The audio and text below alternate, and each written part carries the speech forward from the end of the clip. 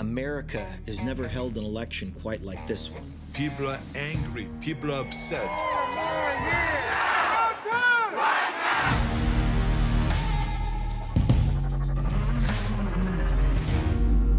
In America, some votes matter a lot more than others. Elections have been rigged in America's history, but it's politicians who do it. Not everyone's ballot has an equal chance of being rejected. And all this is getting much worse in 2020.